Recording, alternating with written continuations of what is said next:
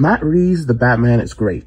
Matt Reeves, the Penguin is somehow even better. But what if Matt Reeves made a spin-off movie of The Green Arrow? Theory time!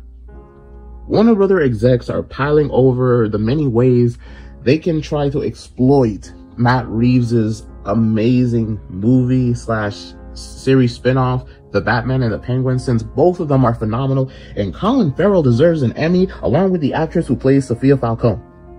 And they're giving Matt Reeves a lot more power and money to create what they are calling the Gothamverse.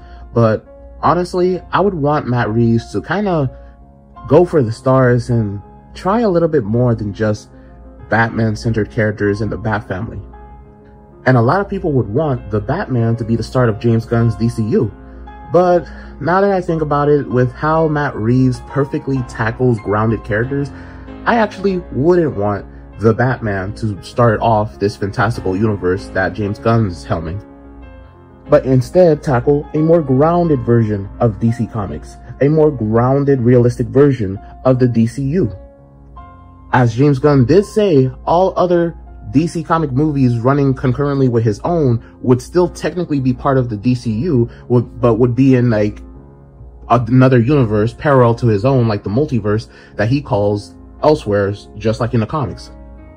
So by that term, there's no real red tape that could keep Matt Reeves from tackling other characters beyond Batman focused characters.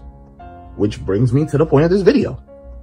Because Green Arrow, like most non-powered heroes, vigilantes, or villains are like Batman, where they are either a great combatant, they're super intelligent, or they just come from a lot of money and can afford a lot of wonderful toys.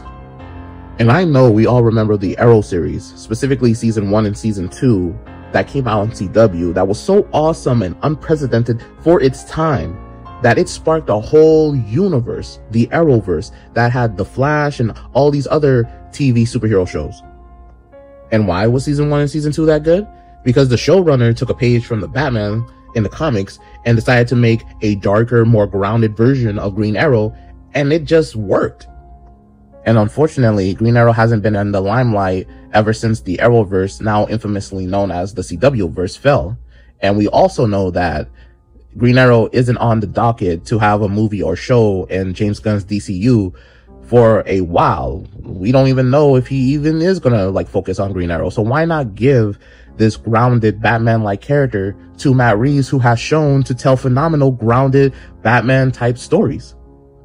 And that way it could be the start of Matt Reeves's own DCU, a more grounded, realistic one that if people are getting tired of the fantastical, they can go elsewhere to Matt Reeves's DC movies and have a more realistic change to it.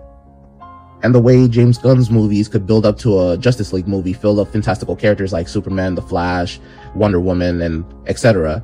You could have Matt Reeves movies build up to a Outsiders movie, which could be a team full of grounded characters, each with their own unique traits and skills, such as the Batman, the Green Arrow, maybe the Huntress, Catwoman, and, you know, different other characters like Azrael and, and who else with no powers that are interesting in the comics that doesn't really get a chance to shine and, you know, get faded into obscurity because they have no powers.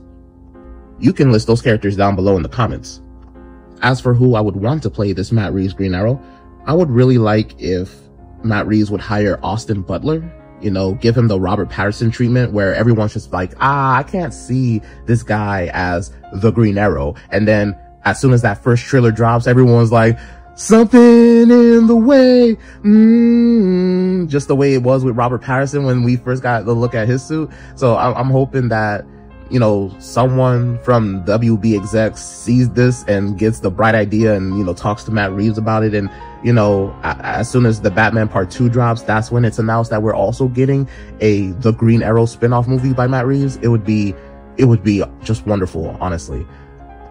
But this was just to present the idea and why it could be sound. Tune in for the video where I talk about where, what a Matt Reeves Green Arrow movie could be like.